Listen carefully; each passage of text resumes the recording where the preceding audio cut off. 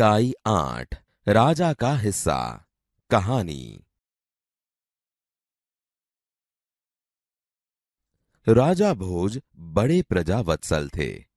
वे स्वयं राज्य में घूम घूम कर प्रजा की कठिनाइयों को देखा करते थे और उन्हें यथासंभव दूर किया करते थे। एक दिन राजा अपनी रानी के साथ रथ पर सवार होकर राज्य का भ्रमण कर रहे थे। वे राजधानी से बहुत दूर निकल गए। उन्होंने देखा कि एक खेत में एक किसान हल जोत रहा है, मगर उसके हल में एक ही बैल है। दूसरे बैल के स्थान पर उसकी स्त्री हल खींच रही है। राजा भोज ने रथ रोका और किसान के पास जाकर कहा, भले आदमी, तुम यह क्या अत्याचार कर रहे हो?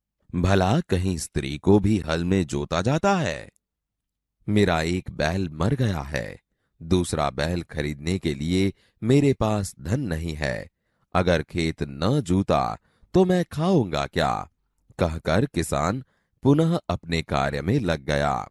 उसे क्या पता था कि उससे बात करने वाला कौन है? राजा ने कहा, अरे भाई, जरा सुनो तो। जो कहना है मेरे साथ चलते चलते कहो, मेरा काम क्यों रोकते हो? किसान ने कहा, राजा भोज उसके साथ साथ चलने लगे।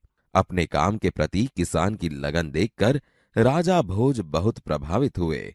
वह बोले, भले आदमी, इस प्रकार तो तुम्हारी पत्नी थक जाएगी और थकावट की वजह से कोई दूसरा कार्य भी नहीं कर सकेगी। किसान बोला तो फिर तुम ही बताओ मैं क्या करूँ?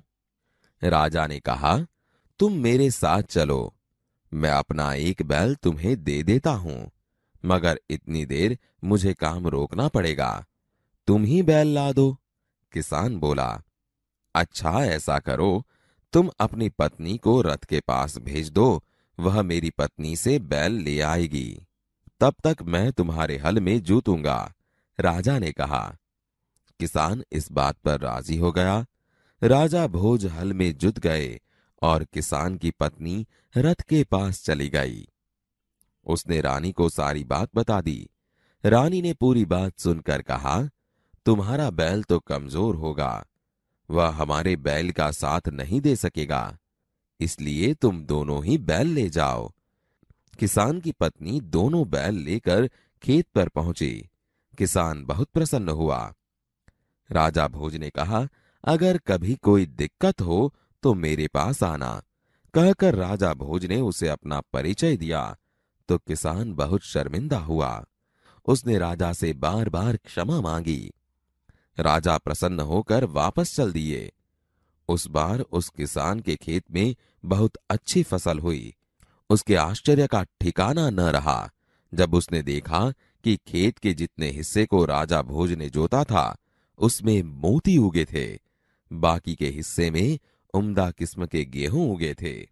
किसान बहुत प्रसन्न हुआ। किसान ने सारे मोती इकट्ठे किए और राजा भोज के पास जा पहुँचा।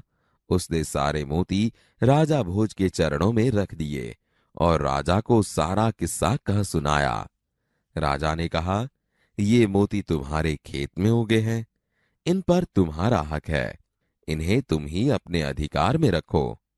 नहीं महाराज, यह आपके परिश्रम का प्रताप है, इसलिए मैं इन्हें नहीं ले जाऊँगा। मेरी प्रार्थना है कि आप इन्हें राजकोष में जमा कर लें और गरीबों की भलाई के लिए काम में ले। किसान ने प्रार्थना की। किसान की बात सुनकर राजा बहुत प्रसन्न हुए और उन्होंने मोती स्वीकार कर लिए। राजा भोज बड़े प्रजावत्सल थे। वे स्वयं राज्य में घूम घूम कर प्रजा की कठिनाइयों को देखा करते थे और उन्हें यथासंभव दूर किया करते थे। एक दिन राजा अपनी रानी के साथ रथ पर सवार होकर राज्य का भ्रमण कर रहे थे। वे राजधानी से बहुत दूर निकल गए। उन्होंने देखा कि खेत में एक किसान हल जोत रहा है, मगर उसके हल में एक ही बैल है। दूसरे बैल के स्थान पर उसकी स्त्री हल खींच रही है। राजा भोज ने रथ रोका और किसान के पास गए। भले आदमी, तुम यह क्या अत्याचार कर रहे हो? भला कहीं स्त्री को भी हल में जोता जाता है। मेरा एक बैल मर गया है। दूसरा बैल खरीदने के लिए मेरे पास धन नहीं है। अगर खेत न जुता तो मैं खाऊँगा क्या? किसान पुनः अपने कार्य में लग गया। उसे क्या पता था कि उससे बात करने वाला कौन है? अरे भाई जरा सुनो तो। जो कहना है मेरे साथ चलते चलते कहो। मेरा काम क्यों रोकते हो? राजा भोज उसके साथ साथ चलने लगे। अपने काम के प्रति किसान की लगन देखकर राजा भोज बहुत प्रभावित हुए।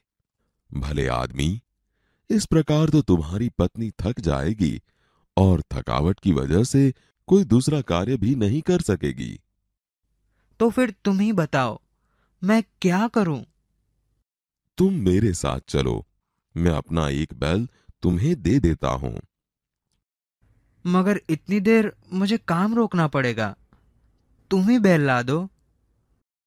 अच्छा ऐसा करो। तुम अपनी पत्नी को रथ के पास भेज दो, वह मेरी पत्नी से बैल ले आएगी। तब तक मैं तुम्हारे हल में जुतूँगा।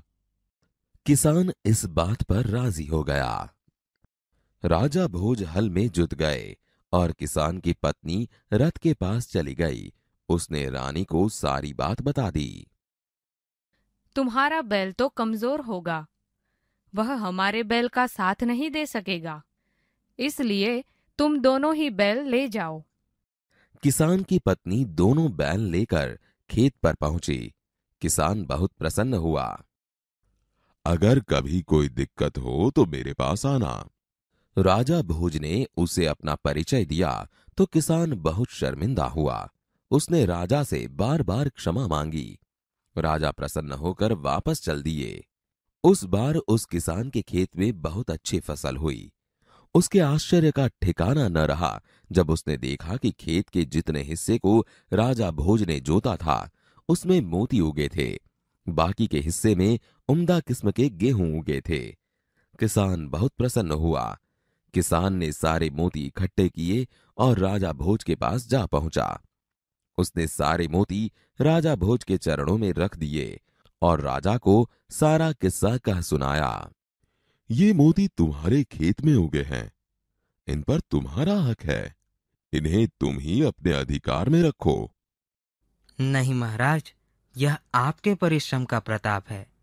इसलिए मैं इन्हें नहीं ले जाऊँगा। मेरी प्रार्थना है कि आप इन्हें राजकोष में जमा कर लें और गरीबों की भलाई के लिए काम में ले। किसान की बात सुनकर राजा बहुत प्रसन्न हुए और उन्होंने मोती स्वीकार कर लिए।